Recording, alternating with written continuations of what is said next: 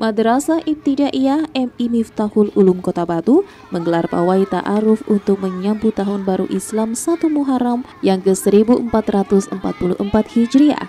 Para siswa MI Miftahul Ulum berkumpul di depan sekolah sambil membawa berbagai atribut dan membawa papan tulis atau slogan bertuliskan pesan di bulan Muharram seperti hijrah menuju mukmin sejati, sambut tahun baru Hijriah dengan semangat. Ayo berbuat lebih baik. Namun tulisan tersebut juga menampakkan pada ekspresi siswa yang tampak semangat dengan membawa slogan tersebut untuk menyambut datangnya tahun baru 1 Muharram 1444 Hijriah.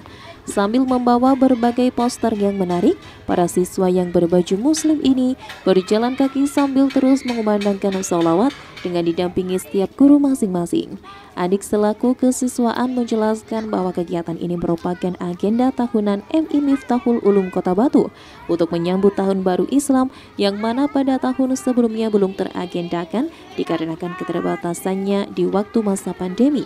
Peserta yang ikut memeriahkan Tahun Baru Islam tersebut di antaranya dari kelas 1 hingga kelas 6 dengan keseluruhan siswa membawa slogan dengan ucapan selamat Tahun Baru Islam dan kata-kata mutiara.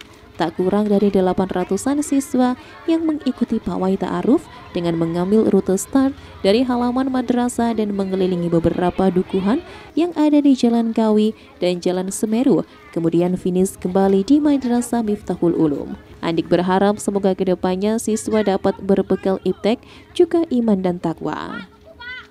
Ini adalah merupakan agenda tahunan dari MI Miftahul Ulum, eh, peringatan Hari Besar Islam yang dalam momen ini kita memperingati uh, tahun baru Islam 1444 Hijriah yang mana setelah uh, kurang lebih tiga tahun kita tidak uh, bisa melaksanakan kegiatan yang sifatnya berkerumun Alhamdulillah pada tahun ini kita uh, memperingati, mengadakan peringatan dengan mengadakan pawai ta'aruf.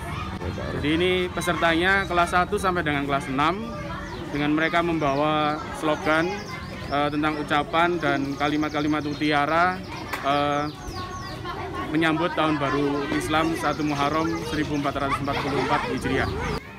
Dari Kota Batu, Sahrul Aldo Revaldin ATV melaporkan.